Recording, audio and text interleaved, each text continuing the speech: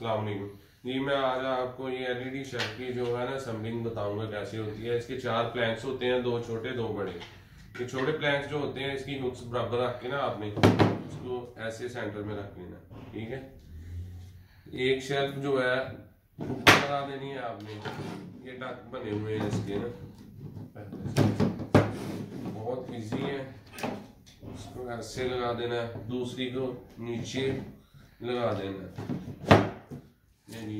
आपकी असम्बल हो गई है, बस इसको आपने पीछे नील्स लगा के उसमें हैंग करना है। ओके अल्लाह हाफिज़।